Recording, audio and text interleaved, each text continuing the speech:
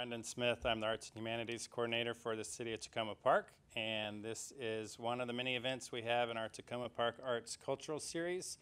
Tomorrow night we've got an exciting uh, African music talk concert. Uh, legendary African uh, radio DJ Georges Collinet is going to be here. He's going to be talking about his life, and then uh, we're going to have a band, DC High Life Stars, play along with a Congolese singer, uh, Samba Mapangala.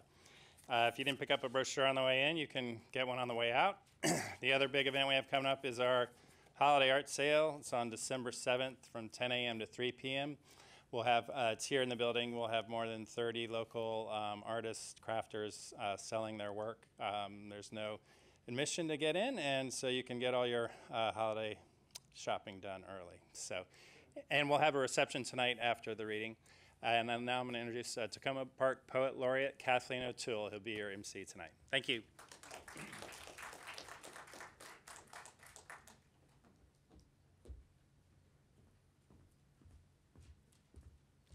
Good evening.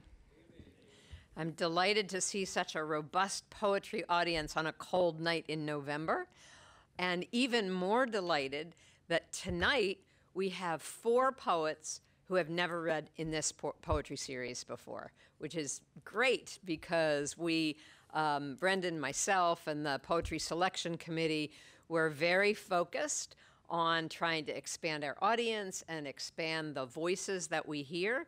And uh, this is also the first open poetry reading we've had this year. We've been mixing it up with themed readings, and so we had a themed reading on migration and the American immigrant experience in September. Last month, four poets uh, to sing against the night, talking about uh, poets who have overcome serious disease or and or are caregivers. And so tonight, it's just poetry, the joy of poetry. And um, I'm frankly excited to hear somebody else's voice reading poetry because I've been out kind of doing a mini book tour to um, celebrate my new book, which I'm not promoting tonight, but I'm happy to answer questions about later. Um, my role here is to basically introduce the four poets, which I will do briefly now, but then you won't see me because they'll come up in alphabetical order and um, each read for about 15 minutes. And then we will gather for refreshments and book sales and more conversation after. So allow me to introduce you, and you have bios and pictures in your program, so I'm not going to read what you can read yourself, but let me highlight a little bit about each of these poets. Um, also, because I forgot my reading glasses, it makes it easier. Um, Judith Bowles, who is, uh, as, as, I said, a first timer and who has taught at American University and has two books of poetry. I think we'll be selling um, uh, books afterwards, who's a neighbor from DC and is delighted to be with us uh, the first time and, and has read at the Writers Center and Politics and Prose and a lot of other places. But we will hear her tonight for the first time. Um, and she told me she has a neighbor here who didn't, who has a friend in Takoma Park who didn't know about our reading series. So we've got some people who can now promote this monthly gathering to other people. Jona Colson, while he also lives in DC, he's really an, uh, a member, an extended member of our community because he teaches um, English as a second language at Montgomery County Community College here in Takoma and uh, also has been published in some wonderful magazines. But the most exciting thing is that Jona brought a number of his students here tonight. And uh, thank you and welcome. And we understand you've all been writing and reading poetry in preparation for this event. So that's a really joyful, and also at least one colleague of his who we're going to be talking afterwards about poetry in the Ethiopian community. So great connections to bring to us, Jona. Thank you and um, Kristen Farragut, who is from Gaithersburg, right? So a uh, Montgomery County neighbor, but who's reading here for the first time. But she's an experienced reader who does a lot of reading at uh, various open mics and the Words Out Loud at, at Glen Echo, as well as a whole lot of exciting activities, biking and reading and hiking. And so uh, we're expecting a lot of energy from Kristen in sharing her poetry with us tonight. And finally, Nabila Washington, who I am delighted to learn is a brand new resident of Takoma Park who has journeyed from Birmingham to Boston to Takoma Park, and she tells me that she's come here because of the vibrancy of our artistic community. Um, I'll let her tell you a little bit about this, but she actually is holding down two jobs, including one with the charter school in Boston that she worked with. But she's just started a new literary magazine be- called Lucky Jefferson, which is about to publish its first in print issue. So if you want to get your poetry published, maybe you need to talk to Nabila afterwards. Um, I was a member of the selection committee that chose these poets, but I reacquainted myself with their work in preparation for tonight. And I'm especially excited that they're four very different voices, but very vivid, mysterious, and deeply personal poetic language. And I invite you to join me in welcoming them here tonight. So we will begin with Judith Bowles. Judith?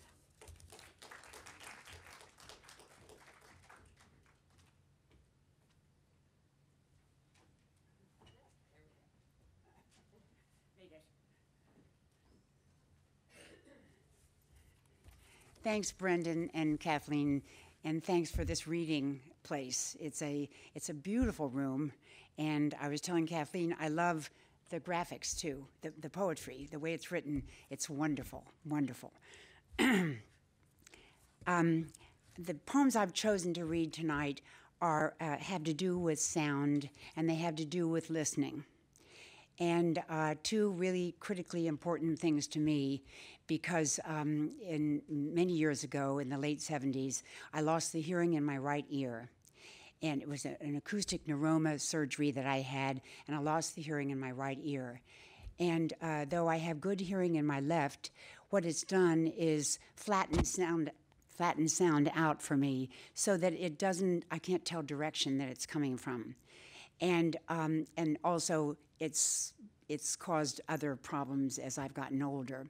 And you may remember that sort of famously Helen Keller was asked whether she would rather be blind or deaf. And she said that she would rather be blind because if you're deaf, your connections are cut off altogether. And I think that that's really crucial. And so it's interesting to me that I never, in these poems, set out to think about, I was not thinking about sound, but sound creeps into my poems and this one is called Correspondences, and it has to do with the effect of sound, the effect of a gunshot, and uh, the, the crucial atmosphere that the gunshot sets up. Correspondences. An alley of soft pines my father planted on one of the multiple heel, hills in southern Ohio to frame his shooting range, hid him behind the cabin he called Possum Run, a place he said would add years to his life. The trees gathered sparrows, busy being together, their flitting a song in itself. They rose in an urgent communion, a breath taken up and released when the shot cracked the air. It was sound being seen, this rush and rise, an explosion in air of a hundred hearts beating together and moving together, like a story being told by a chorus about one lonely man. I live in the district and uh, we vote. I uh, moved to the district from Maryland about four years ago, and we vote in a church called the Church of the Annunciation. And I love it that it's called the Church of the Annunciation and that we go there to vote. And when we first moved from Maryland, I missed our old place of voting, which was the school, terribly because we knew each other and, and it was how's your mother, how's your dog, how's your son uh, when everybody came to vote. But when I first came to vote in the district, it was just this long line in front of the church. And yet there was something there that was so important that I learned. uh, voting at the Church of the Annunciation. The way the clouds moved across the vast November blue of the sky, like a colt cooped up too long, made me hurry my pace up the hill to the church. At the crest, the two giant sycamores had begun their unleafing, just barely. So the arch of their branches became separate, not fused under cover of leaves. They leaned slightly apart at the top as if to give room to each other for reaching. It was a cheerful, long line at the church, no matter the wait. It had already taken each of us a lifetime to arrive at that place where we were going to be heard. And this is a poem actually about, about listening and about uh, sound. And it's based on a documentary that was made by Ethan Hawke. And he made the documentary, it's called Seymour An Introduction.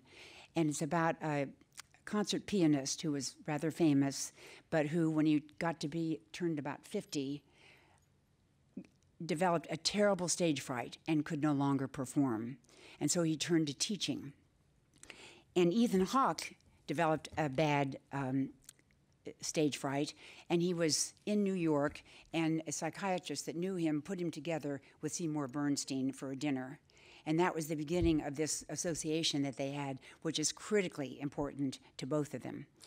And so, as he talked to Seymour and Seymour talked to him, he decided that he had to make a film about this man, and it's called Seymour: An Introduction. I highly recommend it if you can get if you can get it on Netflix. It's it's a fabulous movie, and it's also the poem also has a poem within it that is done by a friend of mine, and the poem is called Ossicles. And the ossicles are the little bones inside your ear that waver, and they, they're what carry the sound into your ear. So it's the pianist and the poet. Seymour Bernstein barely blinks when he talks, his eyes at ease in the light of the world as his hands poised over the keys when he asks us to mark how the note hovers in air after it's struck, so that even its final hush finds a chord.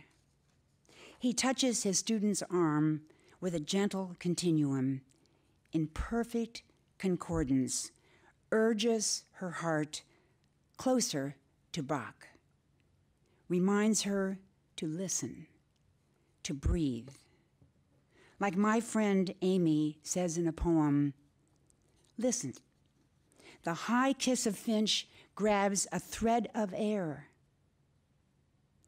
This is a transport rapid as half of a breath, as if ears were satellite dishes on stems. She teaches too and waits as long as it takes for her students to hear. She knows what that means, how it helps to blend the word and the sound of the word so the ear and the brain work together. These tiniest bones hear us think. Yes, listen to the hush that carries the sound.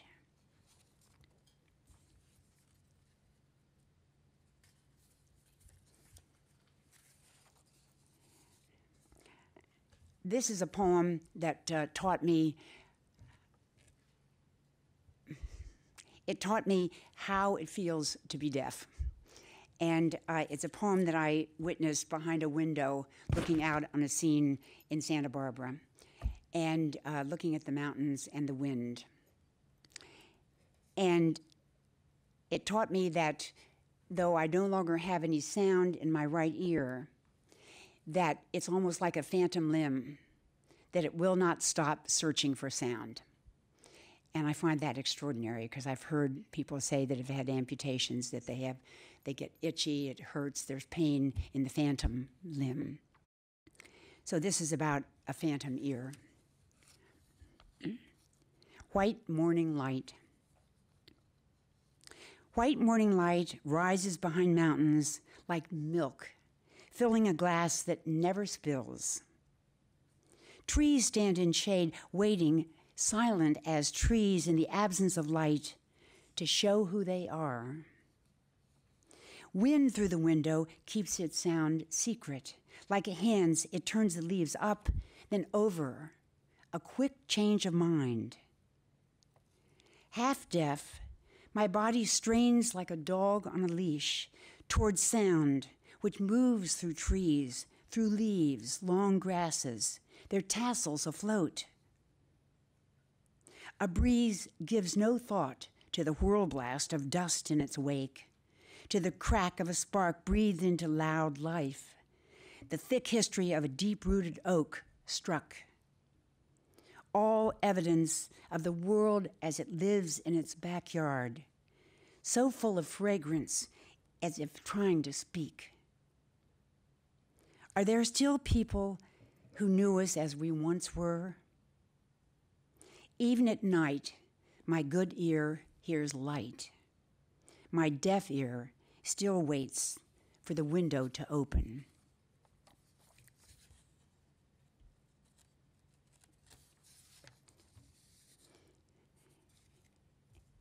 And this is a time I had with my three daughters in Santa Barbara. And uh, if you have children, you know how they sometimes communicate without words, and you know from the way they sit with each other and how they move, how they're getting on, and so forth. And um, we were by the ocean, and the dolphins were there, and I was watching the dolphins circle and come and come. And uh, the way that dolphins hear is uh, is the the sound actually resides hit, hits them in the water. And I thought to myself, oh, that's like my girls. Santa Barbara morning. All crowded today like an overgrown meadow, alive with color, with swaying with sand. It makes a case for the heart to open its fist and receive, like they do, the dolphins, now lifting, wheels turning their rhythm of breath. They send and receive in equal measure. Sound is their light that beams through the water, meets matter that's dense, copies it home to the brain, revising moment by moment their place in this soft constellation. And my final poem is not about sound, but it's uh, just a poem I wanted to end with. It has uh, to do with uh, it having watched a few episodes of an old rerun, a show that was in the 70s called All in the Family. And it was a wonderful show. and it was all about bigotry. And it was so funny then. So the poem is called All In. In the 70s, things were so good we could laugh at bigotry as if it were just an act.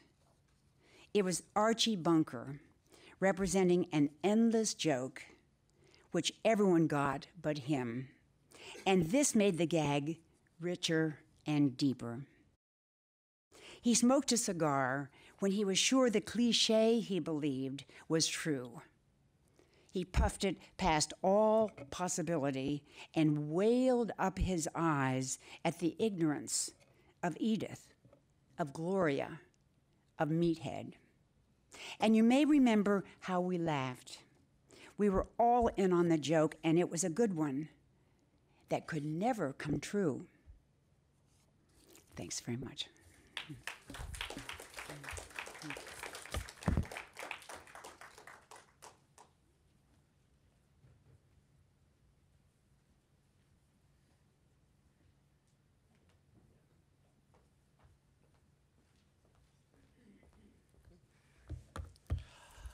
Good evening. Thank you. Thank you so much for um, allowing me to be here in the company of such wonderful poets. Uh, Judith, thank you. They were absolutely beautiful, the images. Thank you, thank you. And I look forward to hearing Kristen and Nabila as well. So I'm going to read a few poems from my book tonight. And people, when my book first came out, people asked me, "What are your what are your what's your book about? What are your poems about?" And uh, I said, "Well, I I don't know, right?" So, my best answer is there are a few different engines that sort of govern. Um, govern the, the poetry here, and I would like to dedicate this reading to my students who are here this evening. So I appreciate you guys being here. So I'm going to start out. I have a series of poems in this book that ask a very simple, direct question from very often an authority figure. In this instan- instance, it's going to be a doctor. And like I said, the question is very basic, but the answer is something that runs underneath, which is something that I'm concerned about. I'm often wondering what is something that we don't say? Um, our expectations are inversed.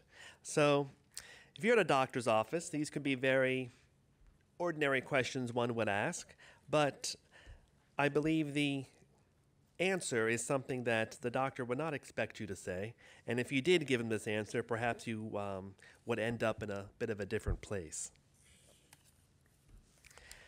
This one's called Doctor to Patient. What brings you here today? A pain. It runs down my arm during the night. When did it start? A few years ago when I saw a bee land on a mint leaf. How does the pain feel when it snows like electricity? Are you taking anything for it? I read a story about a woman who vanished. Maybe she just turned herself into a fish. May I examine your arm? Touch is strange. I wonder if fish feel it when you slice their bellies. Does this hurt? There is no rule that states I must remain human. Can you bend your arm? When I was five, I broke this arm because it wanted attention. I think it still does. Does it only hurt at night? Yes, I dream I am a thin man, slicing down, slicing down tobacco leaves, large like green oars. Let me check your blood pressure. My heart is beating in sixteenth notes. I'm going to listen to your heart. I've never seen the heart of a fish. They don't sell that at the market. Everything is fine. Is there anything else? I feel like a man with a rope around his neck. So if you offered those responses to a doctor, I think you would end up in a maybe a different place. Another engine that's in here is I lost my father a few years ago, and that always begins to surface in one's work. Sort of slightly cathartic experience. So I'll start with this poem called Lesson, very short poem. Lesson. It wasn't until a few years before he died when I came down the stairs on a Saturday morning and saw my father by the kitchen window, shirtless, ironing fresh blue tea towels, that I understood why my mother fell in love.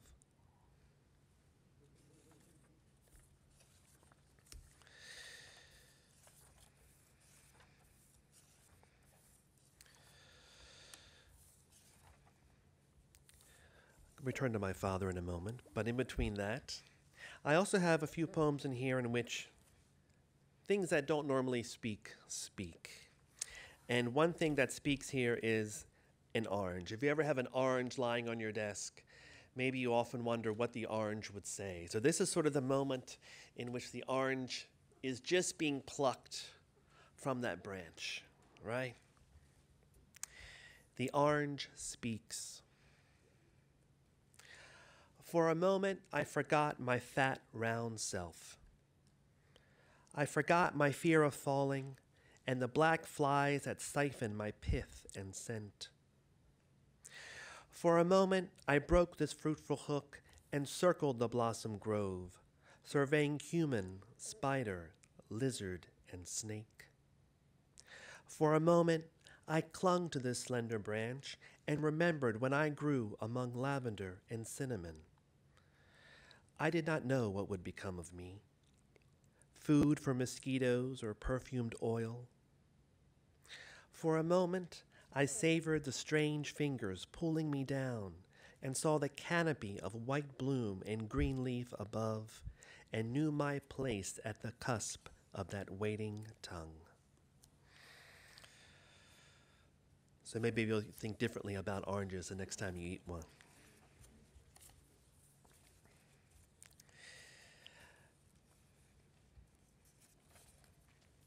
It's another poem. It's called The Last Time I Saw My Father. The last time I saw my father, sound and marrow filled, he was standing on the front porch, almost the weight of a ghost. As I waved goodbye, I felt a nerve twitch like a dog's ear batting a fly. He never sold me the world. He never said that people are good. But the next morning, when he stopped like a hare snapped in a steel trap, my name knelt down beside him, and the smallest sigh became a lullaby. I touched his hand, and like any good son, straightened his dark hair before they carried him out into the air.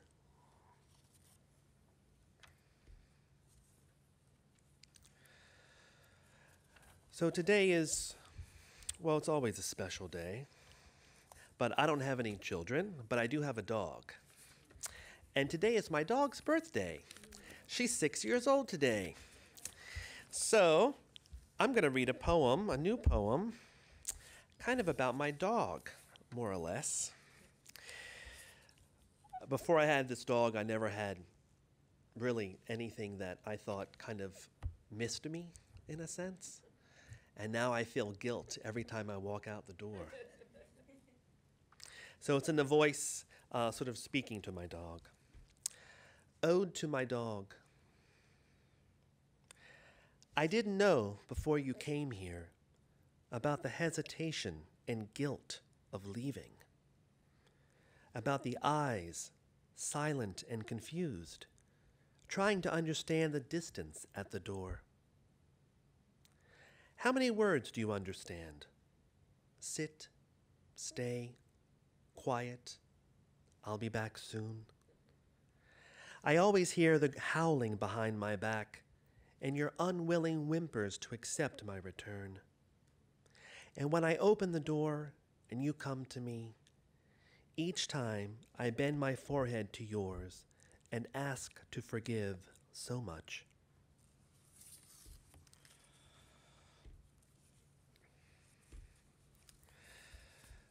So I think I'll read one more poem this evening. This is called The Other Life. I'm a Maryland boy. I grew up by the water, and I have a lot of water and fish life here. So it's called The Other Life. Before I leave, I want to know about the other life. I want to hear my name from another animal's mouth. I want to be the tender talons of coral or the delicacy of a crab's underbelly. I want to be the blue fish in the blue ocean, all current and unhunted. I want shimmer and fins that circle seagrass.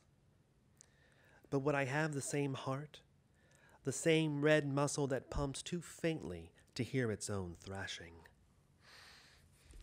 Thank you very much.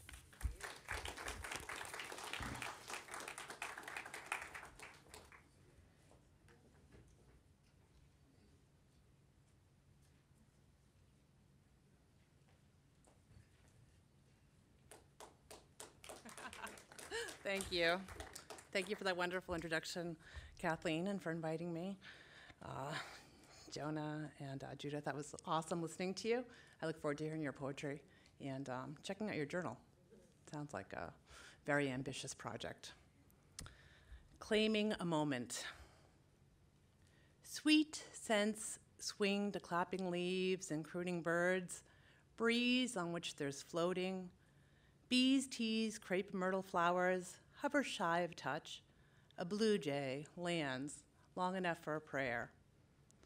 Mindfulness calls for appreciation and also taking for granted, to guard moments against all they're not enclosures, shackles, EKGs, bare feet on ice. Also present in burdens, ignored is gratitude. Also there but by God's grace. Also, what can be done? Of two minds cut short in study of myriad shades of green, grow back as four minds, cut short in shapes of turns taken by sun and wind on limbs, and grow again, a hydra unleashed. Heads oriented toward all compass tick marks, question whether the prayer is of thanksgiving, intercession, or repentance. Not mutually exclusive, but even the hydra has only one heart. There's an epidemic of grown folks talking to themselves in grocery stores. Makes me feel right at home. Not so used to that. No Bluetooth, just straight up self stammers and mutters, like thoughts can't be contained. Phrases need to jump ship, and there's no one else to catch them. So I've gotten really quiet. Let words implode in mind, the way economies cave in, like stars supernova, but little, like a gasp of regret. So here's a poem for all you frustrated uh, fiction writers. Um, I think a lot of us poets maybe play with fiction, but maybe have a hard time with plots. this one's called Plots. Plots hide behind the ears of those who stand as characters, messy between strands of hair tucked there and tangled. They dare you to label pro or antagonist just to flip notions on a dime, ever giving vertigo. As though there ever really were a point. Spotlight on time, like dancing drunk in the club, though trying hard to be more like a whirling dervish. So here's one that I haven't been brave enough to bring to any workshop and haven't sent out, but I think you all want to hear it. anyway, I feel like reading it. It's called Challenging Roe v. Wade.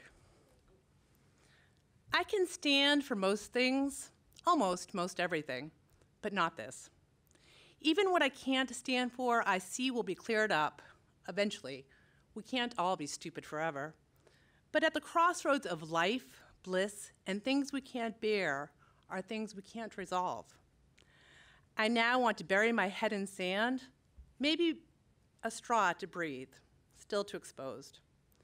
No good can come of this, revisiting and reinterpreting, with minds steadfast and hearts all lightning and tremble. Yet here we are. Things exist which we can't make peace, requires more humanity than vitriol, or to be left well enough, snug in the status quo, but they muck it up. Ostriches don't hide their heads, but check their eggs buried three feet deep, protect from jackal and mongoose. They sprint 40 miles per hour, no need to hide. I want to run to the other side of the fight already, lines drawn in despair, despite everyone's good intentions. All right, and now I go to my morbid, bringing up my October poetry, a couple of pieces. This one's called Thin Place. The veil was always thin, made of gauze, moth's wings, translucent. You able to walk two worlds, straddling loosely knit seams. The not Earth's seductive indifference to gravity and weariness holds promise. Your left hand fished for siren's notes, plucking bits of horrid, beautiful song, while your right pumped flesh, connections tangled between nether and sky. Living in the thin place, every moment is a sacrament, no relief from solemnity. Between the squeeze of clouds and molten metal, where you see your own ghost, and he's weightless. But maybe still hope. Leaving this world, you delivered a bird, dead, centered, broken, outside my window. I lift her with a towel, fly her to the top of a hill, lay her behind a tree, on the rabbit's grave. I look to the sky and wish you both well, crying until looking down on her closed eyes. I imagine, despite your fucking gruesome death, you tell me this you are at peace. I pour wine into the earth and turn away. Second chances. I want to knit swatches of Egyptian cotton, wrap your scars in shades of sky, fill the furrow of your brow with sheer layers of gloss from kisses. Over years, peace made through surrender, still loss. Holes may close as well as fill, then what space is left? things unloosed, dulcet riffs or discordant riffs, bedrock.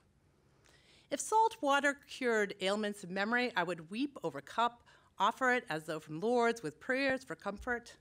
This is what they mean by second chances to put blood back in the stone.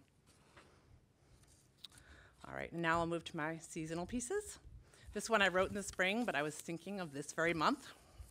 It's called Fallen Spring. You missed the blossoms around my house, tender cherry blossoms, the kind breezes like to cradle and carry off, magnolia petals pooling rain, red dogwood flowers under which I nail my unease. Remember last year I worried you'd miss their peak luster, hungry for time, yours and spring's? I forgot this year until after petals fell to the ground and browned like a different season entirely. And then this, I think, I think some of Jona's students might have read, Leaves of Late November. Leaves spiral and fall in three-fourths time, dive a fast vertical twirl as though knowing no end point, float to and fro as in downstream descent, all reach the ground. They lie on top of each other, huddle against curbs, and nestle in edging between mulch and now rust colored lawns. Leaves rest. Shade in summer sun, glory of early fall, they've been through a lot. I wish to take their place, climb to the top of the most naked tall tree and lay myself down like on a bed of needles. The spindly twigs might hold me for their sheer numbers, and I could blanket them with their branches with my 98 degrees. That's what I have of life heat and good intentions. What escapes our lips? Shifty, sharp truth hides in the hippocampus, sometimes trashing the place. Lost in both guilt and good intentions, the most fragile of virtues parcels reason to skirt itself, sure as a blackjack dealer hitting a kid who holds 10. It sneaks in behind molars, escapes through bits of spittle and carbon dioxide, despite the best effort of lips. Once out, it grows like expandable water toys from the dollar store.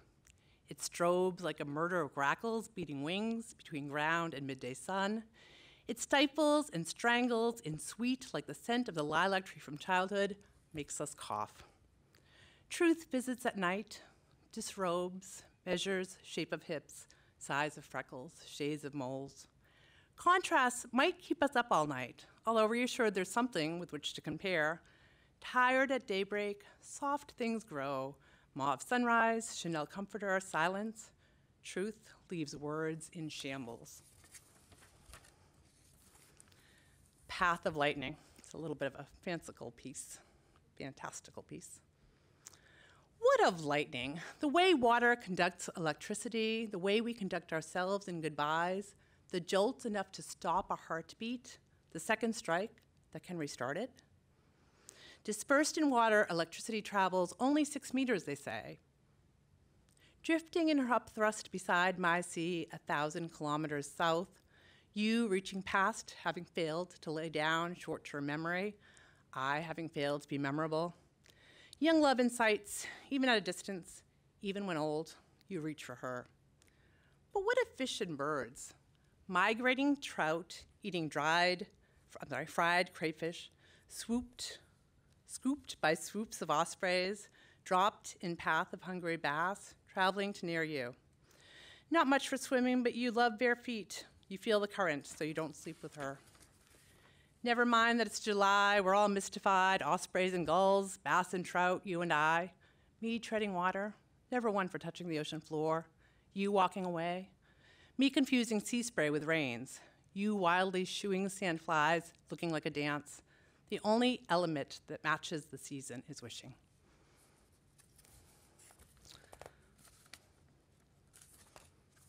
All right. And this is the one that's in the program Moonlight Secrets.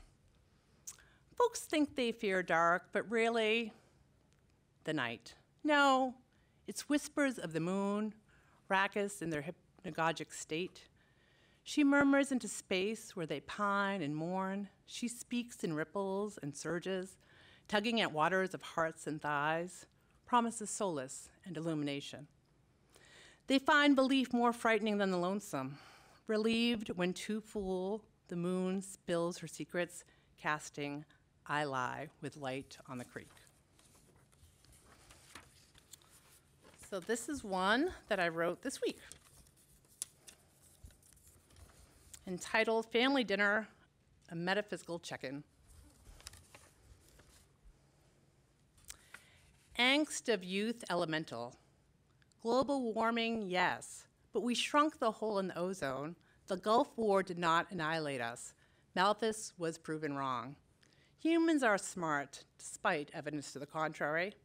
An obligatory dinner turned essential discussion. Bullies tend toward half-wit. You're ugly and stupid, as though creativity isn't gorgeous. So we discuss ingenuity and comebacks, places for help, space for ignoring, and expansive possibilities in the transcendental, or even God. No one wants the night to end. Full of doubt, too, I check myself against pop psychology. Parents, it seems, cause all Gen, Gen Z's anxieties. Do I solve too many of your problems? Do I pressure you to be happy? No, they console. As miserable as I was in 87, dreading the end of the world. And I'll finish with this last one called Change Takes Energy. Thunderstorms rotate into hurricanes, rockets hit escape velocity over 25,000 miles per hour, birthday cake bakes at 350 degrees to tender perfection. No reason to expect any leftovers. Babies can't loan you 30 bucks, and butterflies won't take out the trash upon emerging from the chrysalis. And she isn't the one with whom you tied the knot, fumbling hands recalling torn through mittens on the rope tow because the hill was just too steep and you never did learn to ski. Gloriously happy with a band on your finger, all that hide and seek behind you. He wouldn't keep you safe or bring you soup, but still, a kind of resting place. Buried beneath pills and knives, scars and scarves, you'll never find him now. You fu- fueled the escape, and don't quite begrudge it, except in what is misunderstood as finite. All these worries of loss overlook what science shows us renewable energy in wind, tides, sun, your heart, and the smile you give your kids after taking out the trash. Thank you.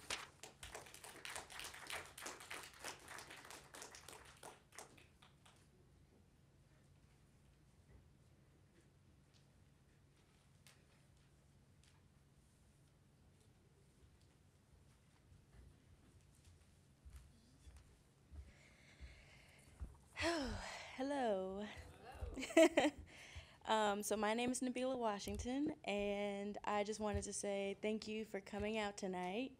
Um, this is my first reading in 14 years, so I'm very excited and very honored to have been chosen to speak my poems tonight.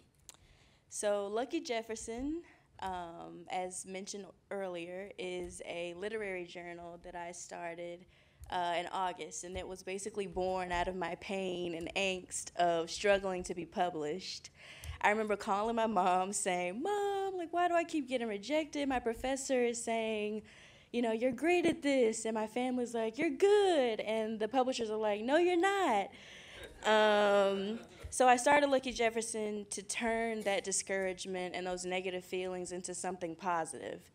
Um, I wanted to help new artists, especially new writers who are pivoting in their career. So if you were an engineer and you wanted to start writing poetry, you could hit up Lucky Jefferson.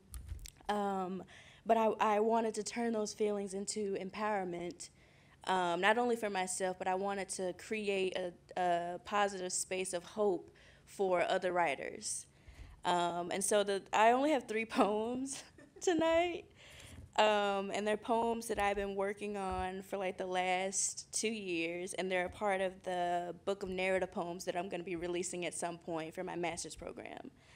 And so this first poem is called Not So Good at Imagery, um, because in a poetry a poetry fundamental class that I took, my professor was like, you know, you're really good at narrative poems, but you're not so good at being descriptive. And I was like, what? So this is a poem called Not So Good at Imagery, and it's about a really crappy apartment because I'm sure we all have had apartments that sucked. So here we go. Vomit colored walls, the low grunt of a beat up air conditioner, a mustard love seat waiting to be put together in a corner shaded by cobwebs, gnats congregating near my shower head, a moth or two eyeing them from the ceiling, the smell of stale wood stain playing chase with lemon Pine-Sol, a family or a wild bear living upstairs, a soft shuffle of feet, then bang, clank. Children screaming giddily as they dart through the dense patches of grass behind this sullen brick house. The perpetual rumble of cars out front, then honk, honk. A row of green succulents bathing in scarce sunlight, perched near grit covered blinds. God, did I hate it there. this next poem is called Grease. Um, and I want to thank Jona for sharing it with his class. It's very personal. Um, again, I wrote this um, as a part of the collection of poems that I'm writing for my book. And it's about growing up in fast food. My mom, my family constantly worked. My father was absent. And I just remember always being in Burger King, always being in Arby's, McDonald's. When the restaurant would close, we'd go behind the counter and pretend to like ring up orders. And that was kind of like how my imagination and different parts of my personality grew. And so I wanted to write a poem about it. So here's Grease. I was once from grease. Stale orders rang up at Burger King and curly fries at Arby's, shuffling from grandma to uncle, from uncle to auntie. Mama couldn't afford a sitter. I am from the 90s. AOL in all its glory, Carmen Sandiego and Xena the Warrior Princess. I am from isolation. No brothers or sisters to pick a fight. Where's my daddy to tuck me in right? I am from troublemaking and curiosity, stealing mama's car keys for a joyride, cutting off plaits with scissors in the dark, soaking in the bathtub to wash my sins, dodging Jim Crow. I am from laughter, while tucked in mama's arms after being picked up, spun around, and flung into bed, then waking up to mama gone smells of old grease to comfort me. I am from Psalms 23. Would rather have a slumber party than Bible study, or a sister, I reckon, or more hours in the coarse dirt, or more, or more hugs from earthworms, or another Hot Wheels playset. The grease never came out, and the tears never stayed put. Go to sleep, little bee, she would sing. And this last poem, also another po- personal one, is called Where My Father Stood. And it's about growing up and having to have that difficult conversation with my mother about, like, where's my father? Why do all the kids have, like, these wholesome families? Why did my dad choose to have a family with someone else, why didn't he choose to stay with me? And having to choose between the good things that she would share with me and also the bad things. So this is where my, my father stood.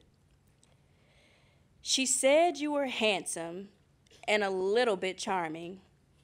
She said you were a liar and found your promises alarming. She, she said you stood tall and gave the best hugs. She said you stuck it in everyone and infested her wound with bugs. She said you were handy and knew your way around Birch. She said you left me inside her and got her thrown out of church. She said you were married now and had two sons.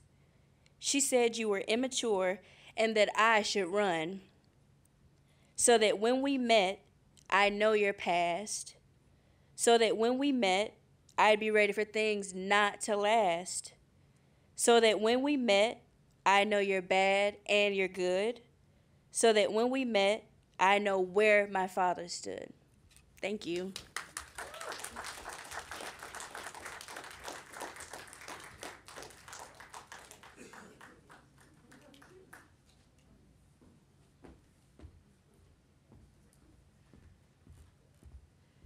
Well, first of all, Nabila, I think this is the first of many readings that you'll be doing. So thank you for sharing your first with us. Um, well, I promised you all that you would hear four very distinct voices and some wonderful poetry. How'd we do? All right. Um, for the poets who are joining us for the first time, I want you to know that uh, my colleagues Bien and who else is with us tonight? I can't see back there. Craig, um, that this has been recorded and we'll be on Takoma Park, um, our public access station, but we'll also be on YouTube if you want to search it in a couple of weeks. So uh, there'll be a record of your first reading and you're joining us tonight. I just want to ask the audience how many of you are at the third Thursday reading for the first time? Brendan, are you counting? All right. We said this year we were going to expand our audience. So I'm going to ask you to go out and tell somebody else about the Takoma Park Third Thursday reading. We will not be here in December. We take December off. We will be back in January on the third Thursday, and we have something special planned for January. We're going to be joined in January by the Free Minds Book Club, which is, uh, some people have heard of it. Um, it's a group that uses books, creative writing, and peer support to awaken incarcerated and formerly incarcerated youths and adults to their own potential. So, members of the, the Free Minds Book Club are going to be joining us in January to share their poems. And so I'm hoping that some of you and others will come back and help us welcome the Free Minds Book Club. And then I think in February we have couples and love poems for Valentine's Day. And then I think we have a couple of, we mix it up in the last few months. So I think one, one or two more themed readings and some open readings. So we will be doing these every third Thursday through May. And then in June, we have an open mic. So you can all come back and read as a part of that. Um, anything else that I'm supposed to remind you of? Just that we're going to have refreshments in the lobby, and hopefully we'll get to meet some of you who are here for the first time. And at least two of the poets I know brought books, so if you'd like to buy a book from one of our participating poets. And thank you once again for joining us tonight.